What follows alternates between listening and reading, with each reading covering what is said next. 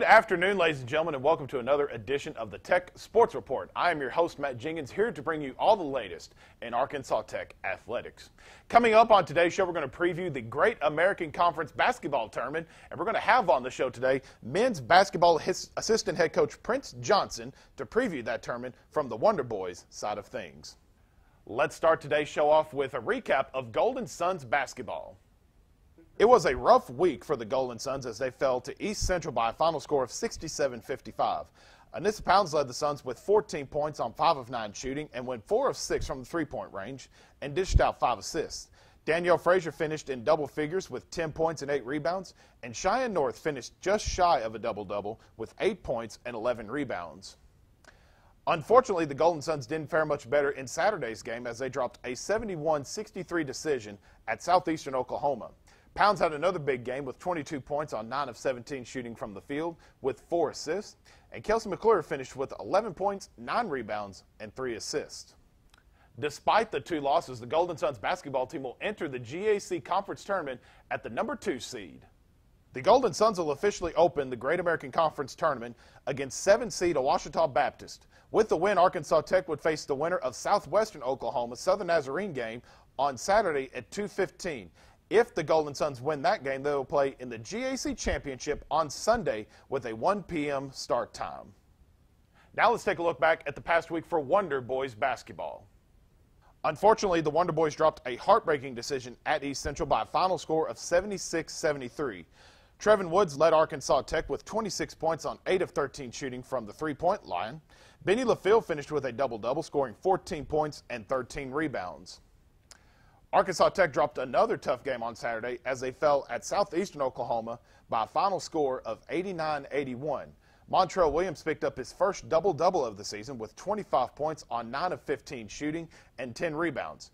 Justin Graham finished with 18 points on 6 of 14 shooting from the field, and Benny LaFille just missed out on a double-double with 8 points to go with his 13 rebounds, 8 of which were offensive rebounds. The Wonder Boys will enter the GAC tournament with a seat of number three, and now we take a look and see who the Wonder Boys will be facing in the tournament. Arkansas Tech will open the tournament with number six Southern Arkansas. That game will be on Friday at 8 o'clock p.m. If the Wonder Boys win that one, they will play the winner of Arkansas Monticello versus Harding. That game is slated for an 8 p.m. start time on Saturday. If the Wonder Boys advance to the championship, that game will be on Sunday at 3:30 p.m. All women's and men's basketball tournament games will be played at Bruin Fieldhouse in Bartlesville, Oklahoma. The Golden Sun softball team opened GAC play as they traveled to northwestern Oklahoma to take on the Rangers in a four-game series. The Suns opened the first doubleheader of the series on Friday with a 4-2 win over the Rangers. Jalissa Gum went 3 for 4 from the plate with an RBI. Megan Goodnight went 1 for 4 with a pair of RBIs and a run scored. And Kara Toller went 1 for 3 with an RBI. Tola was outstanding in the circle as she took a no-hitter into the seventh inning. She finished the game with two earned runs on one hit in six innings pitched, with three walks and four strikeouts. Morgan Vaughn came in in the seventh inning to get her fourth save of the season. In the later game, the Golden Suns picked up another win with a 5-1 victory. Sydney Henson was phenomenal from the plate, going 4 for 4 with two RBIs and two runs scored. Sarah Coronado, Sarah LaChance, and Janie Knowles each finished with a pair of hits apiece. Gum picked up her second win of the season from the circle as she gave up just one unearned run with four hits and no walks and struck out 10 batters in a complete game. Gum picked up right where she left off on Friday in the opening game of the doubleheader on Saturday with a 6-0 victory. Gum pitched a complete game shutout, giving up just one hit and walked four while striking out 16 batters. The 16 strikeouts tied her career high and the fourth most in a single game in program history. Bailey Schaefer led the Tech Bats, going two for four from the plate with a pair of RBIs. Coronado also went one for two from the plate with a pair of walks and a pair of runs scored. The Golden Suns bats came alive in the series finale as Tech went on to win this one by a final score of 12 to 5. Gum and Goodnight combined to go 6 of 9 from the plate with a pair of RBIs and 5 runs scored. LaChance and Knowles also finished with a pair of hits and a pair of RBIs each as well. Vaughn picked up the win in relief, going five innings and giving up no runs on seven hits, one walk, and struck out two.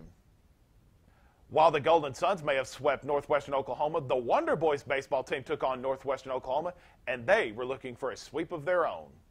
The Wonder Boys opened a three game series at home against Northwestern Oklahoma on Friday, and this one ended up being quite a pitcher's duel. Kyle Wilson was rolling in this one, but got some big time help from his defense on this play as Cody Westcott makes the dive and throws it across the field to get the out at first in the second inning. We move to the third inning with a runner at second. Marcus Wilson drives this grounder right up the middle to score Corey Thompson from second, putting the Wonder Boys up 1 to 0. We move ahead to the eighth inning where Kyle Wilson fans his 11th batter of the day. Then in the ninth inning, Wilson gets Northwestern to ground this one to McDermott as he gets the final out to come away with a 1 to 0 victory. Kyle Wilson pitched his second consecutive complete game shutout since moving into the starting role last week at Southwestern Oklahoma. Wilson went all nine innings, giving up just four hits and walked no batter while striking out 11. Marcus Wilson drove in the only run for the Wonder Boys, going one for four with an RBI. The Wonder Boys bats would come alive on Saturday as they opened a doubleheader on a high note. We pick things up here in the third inning as Dylan McDermott drives this ball to center field just out of the reach of Garrett Douglas as Seth Wheeler comes around to score to cut the Rangers lead to 2 to 1. Down 3 to 2 in the fourth, Wheeler drives this ball deep and off the mesh wall in left field, scoring Cody Westcott to tie the game up at 3 apiece. A couple of bats later, McDermott again mashes this ball high and deep to left field as it clears the mesh monster for a two-run home run. Wonder Boys up now 5 to 3. Jake Harvey added insurance run late for Arkansas Tech as he drives this screaming liner to left field to score Connor Brady, making it a 9 to 3 ball game. Arkansas Tech would win this one by that same final score of 9 to 3. McDermott was brilliant from the plate in this one, going 4 for 4 with a home run, a pair of doubles, 4 RBIs, and 3 runs scored. Wheeler finished the day going 2 for 4 with an RBI and 2 runs scored, while Jake Harvey went 2 for 4 with an RBI and a run scored. Trent Armstrong picked up the win going 5 and 1 third innings, giving up 3 runs on 5 hits, a walk, and struck out 8. Quinton Bowling picked up his first save of the season, pitching 3 and 2 thirds of no hit innings walking just two and striking out four.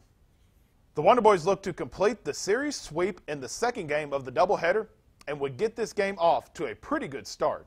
Mark Vaughn smashes this liner up the third base line off the glove of Stephen Deckard as Dylan McDermott came around to score, putting Tech up 1 to 0 in the bottom of the first.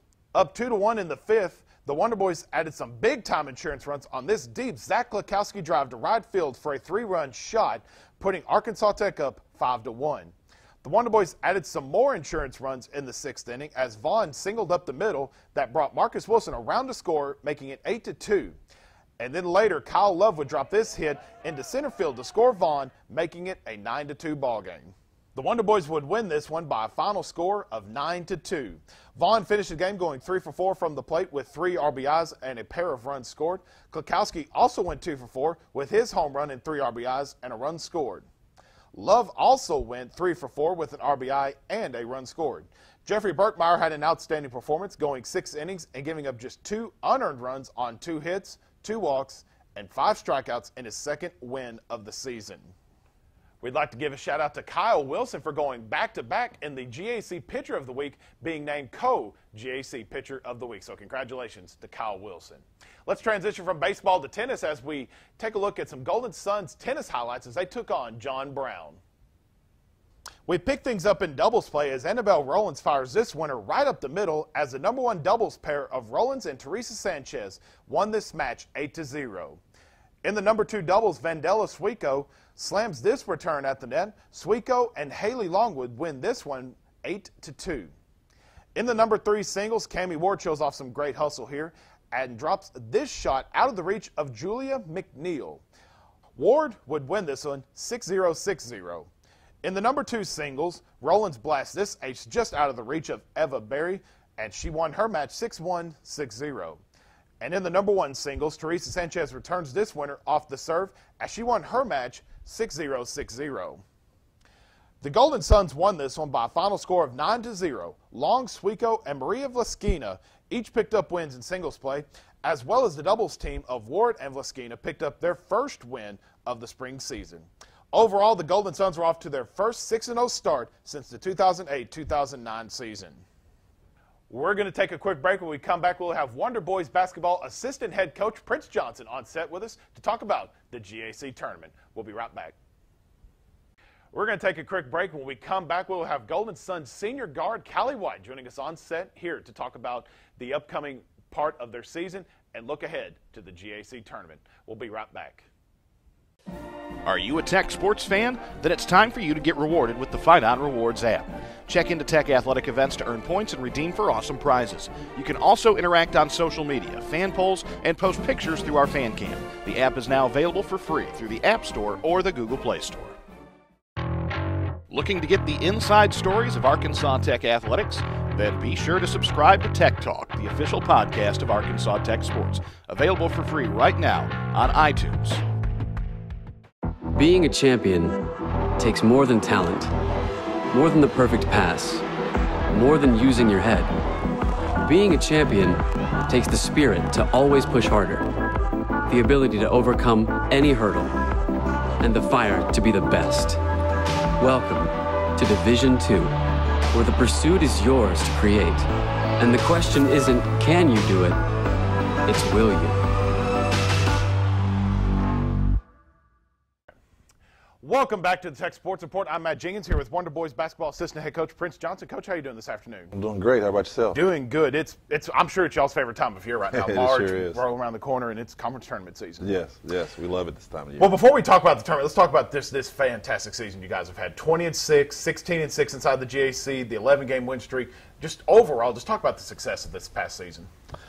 Um, you know, we, we started off a little slow. We, we had all new, we have all new guys this year, so you know it took us a little while to get going. But once we figured it out, we, we really got it rolling. Uh, any given time, we got four or five guys on on the court that can shoot, pass, and dribble. So that's what's added to our success this year. A lot to our success this year. And this team has just been really solid on both sides. But offensively, this team is stacked with three-point shooters. Mm-hmm. Uh, defensively, very strong. Has there been a, like a strength that you've seen just really kind of like blossom here late in the season? I think it's our, our defense. Our defense has gotten a lot better, and I think that's the reason we another reason we went on that 11 game win streak was our defense started getting a lot, especially perimeter defense, Right. is where we were struggling at earlier in the year, and and guys st- started to buy into it, and then, and then we took off.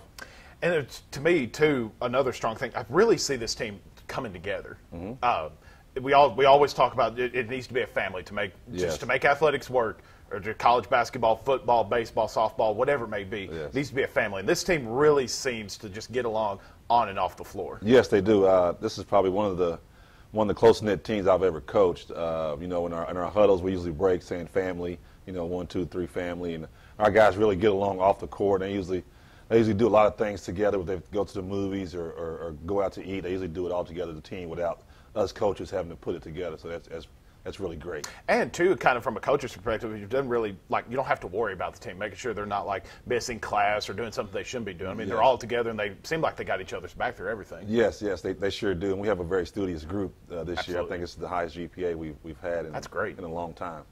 One big thing that I want to talk about before we talk about the tournament, preseason, I was not necessarily worried, but I, there wasn't a big man presence like when we had with Charles Mills, Mm-hmm. Yeah. or just that big presence to roam around in the paint and protect. Yes.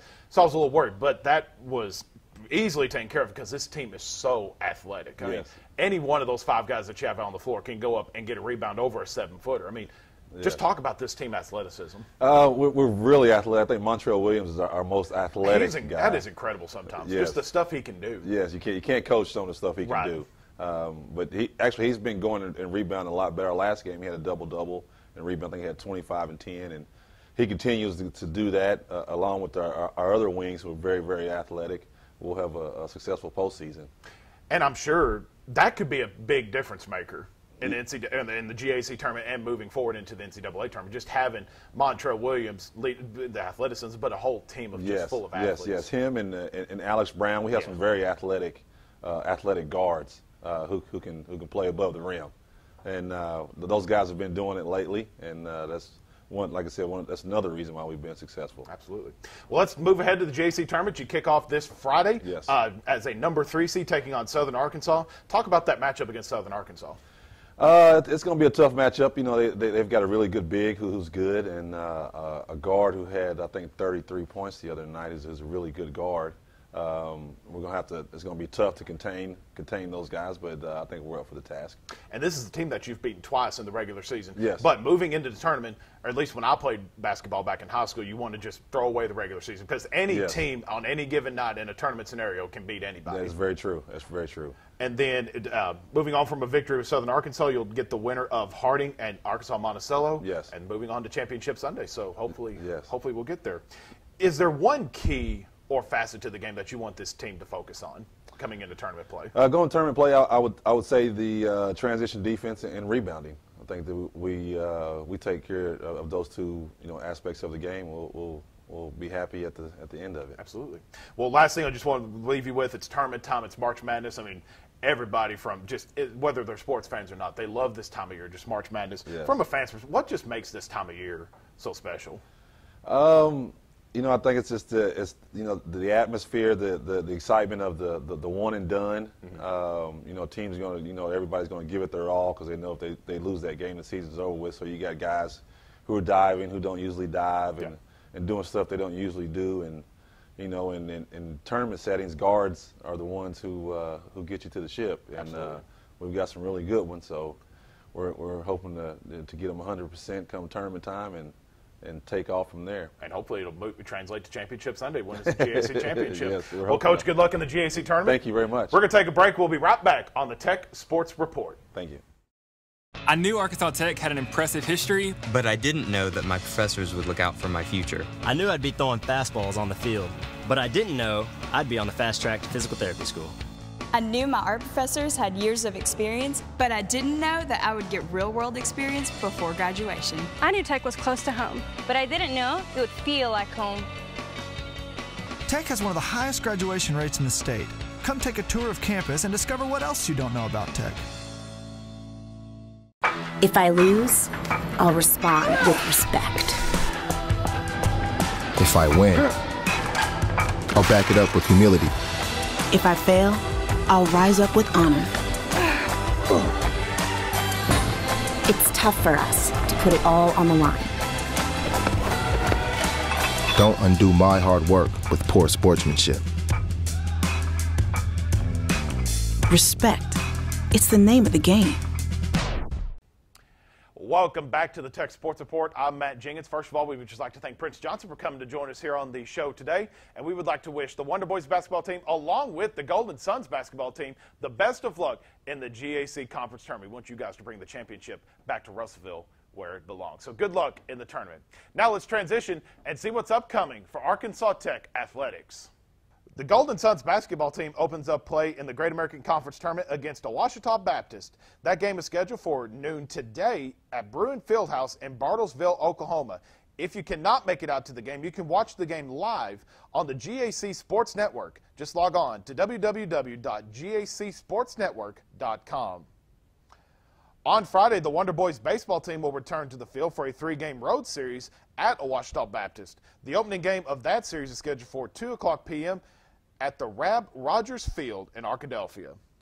The Golden Sun softball team will officially play their home opener on Friday as they will host Ouachita Baptist at the Chartwells Women's Sports Complex. The first game of that doubleheader is scheduled for 3 o'clock p.m. The Wonder Boys basketball team opens their GAC tournament Friday night against Southern Arkansas. That game is scheduled for 8 o'clock p.m. in Bartlesville, Oklahoma. Again, if you can't make it out to the game, you can watch the game live on the GAC Sports Network. The Golden Suns tennis team will open a busy Saturday for Arkansas Tech Athletics as they host Dallas Baptist. That match is slated for a 9 a.m. start time at the Chartwells Women's Sports Complex. You can get a double dose of Arkansas Tech athletics as the Golden Suns softball team will close out their series against the Ouachita Baptist at the Chartwells Women's Sports Complex. That doubleheader is slated for a noon start. If you cannot make it out to either of the Friday or Saturday games, there will be live video, audio, and stats available at ArkansasTechSports.com. The Wonder Boys baseball team will also return to the field at noon on Saturday for a doubleheader against Ouachita. The first game of that series is slated for a noon start time, with the second game starting approximately a half hour after the completion of the first game. The Wonder Boys golf team will officially open their spring season at the Las Vegas Desert Classic being played at the Primm Valley Golf Club in Nipton, California on Sunday. The first two rounds of that tournament will be played on Sunday with the tournament concluding on Monday. Also on Monday, the Golden Suns golf team returns to the course for the Southern Nazarene Diffee Ford Lincoln Invitational being played at Edmond, Oklahoma. They will play the first round on Monday and then conclude play with the second round on Tuesday. On Tuesday, the Golden Suns tennis team will face Ouachita Baptist for a non-conference match at the Craig and Kim Ward Tennis Courts in Arkadelphia. That match is slated for a 1 p.m. start time. And later on Tuesday, the Wonder Boys baseball team will return to action as they will be on the road to play Delta State. That game is slated for a 3 p.m. start time at the Dave Boo Ferriss Field in Cleveland, Mississippi. Finally, on Wednesday, the Wonder Boys will close out their two game series against Delta State with another game slated for a 3 p.m. start time. And with that, we've reached the conclusion here on the Tech Sports Report. Make sure you join us next week where we'll have more recap and analysis. And also next week, we could be potentially previewing Golden Suns basketball making the NCAA tournament or the Wonder Boys, or maybe best case scenario, both teams going to the NCAA tournament. We'll have all that and more for you next week right here on the Tech Sports Report.